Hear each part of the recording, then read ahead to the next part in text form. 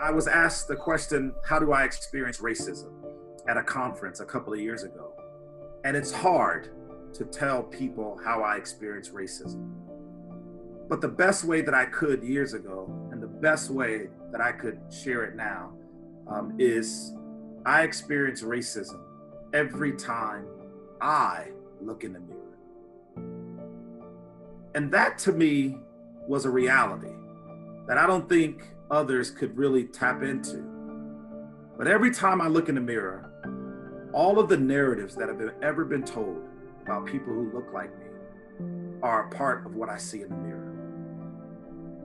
And because there is a single story about people who look like me propagated in history books, one of enslavement, in the media, one of violence, in entertainment, one of athletic aptitude that goes beyond their white counterparts. That's a racist idea. Those are racist ideas. Less than in educational fields, poverty. And so every time I look in the mirror, all of those messages come. And so I can't just focus on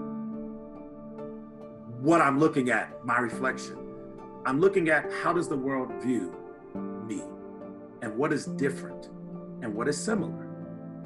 And, and, and I can't say that I do that all the time, but I do know that in times like these, I do look in the mirror a little differently, knowing that what I see is not what other people see.